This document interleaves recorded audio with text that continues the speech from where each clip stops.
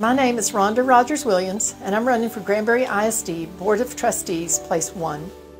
I love Granbury, and we live in a very special place with exceptional people. For the last 35 years, I have served our parents and children here in Granbury and have been blessed to have a successful career in human resources, which is a tremendous foundation for a school board trustee.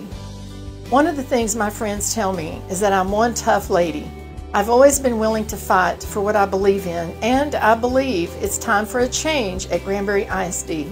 We have a school board and administration out of touch with everyday Granbury families and not transparent or accessible. Instead of serving the residents of Granbury, they seem to tolerate us. What they often forget is the hardworking families here in Granbury pay the bills, and that demands and deserves respect. You will get that respect from me. We must lower taxes as so many are struggling in this economy to make ends meet. Some people are literally being taxed out of their homes. We must stop the political indoctrination in our schools and not allow explicit and in some cases pornographic content to be anywhere near our precious children. I do not blame teachers for this. The blame falls at the feet of the school board and administration.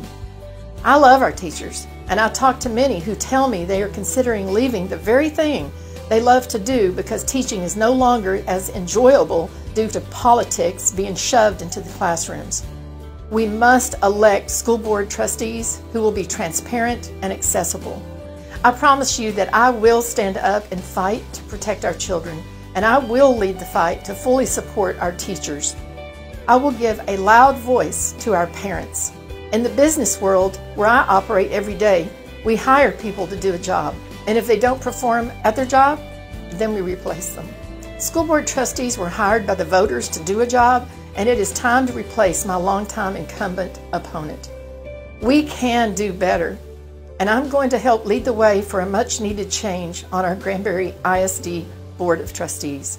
The definition of insanity is doing the same thing over and over and expecting different results. It is time to bring in someone else to get the different results we seek. My name is Rhonda Rogers Williams, and I'm asking for your vote for Granbury ISD Board of Trustees on November 7th.